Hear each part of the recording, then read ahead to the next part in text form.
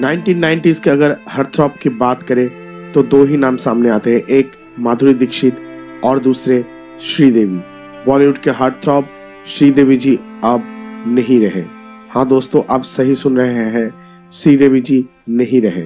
24 फरवरी रात को वो चल बसे दुबई में, इंडिया के टाइम के हिसाब से 25 फरवरी। संजय कपूर ने ये कॉन्फर्म किया है कि श्रीदेवी जी अब नहीं रहे। दुबई में वो थे अपने हस्बैंड बॉनी कपूर और उनकी छोटी बेटी खुशी के साथ। लेकिन उनकी बड़ी बेटी है, अभी मुंबई पे। यहाँ पर एक शूटिंग के कारण वो दुबई में नहीं जा सकी। तो दुबई में क्यों? क्योंकि बॉनी कपूर के कजिन मोहित मरवा का शादी था। ये भी एक बॉलीवुड एक्टर है और शादी हो रही थी अंतरा मोतीवाला के साथ।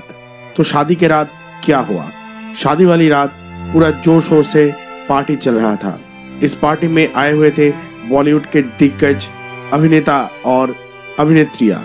अर्जुन कपूर से लेकर अमिताभ बच्चन, जया बच्चन, करण जौहर सभी इस पार्टी में मौजूद थे।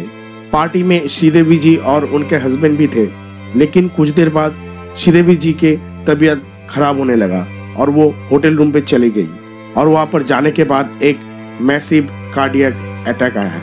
हाँ एक हार्ट अटैक आया। जो उनके ज़िंदगी उनसे छीन कर ले गई। श्रीदेवी पचपन साल की हुई थी और उन्होंने बहुत सारा हिट फ़िल्में बॉलीवुड व दुनिया को गिफ्ट कर गई। उनको 2013 साल में पद्मश्री अवार्ड भी मिला था, जो कि भारत की चौथे सर्वोत्तम अवार्ड है। श्रीदेवी तो हम सब लोग को छोड़ के चली गई, लेकिन पीछे छोड़ गए अपने शोहर बॉनी कपूर और उनके दो बेटियाँ खुशी और जानवी दोस्तों, आप कमेंट में ज़रूर लिखें श्रीदेवी जी का ऐसा छोड़ के चले जाना बॉलीवुड इंडस्ट्री में क्या इफ़ेक्ट होगा? और लिखिए श्रीदेवी जी का आपका यादगार पल कौन सा था? मुझे इंतज़ार रहेगा दोस्तों, आपके कमेंट का।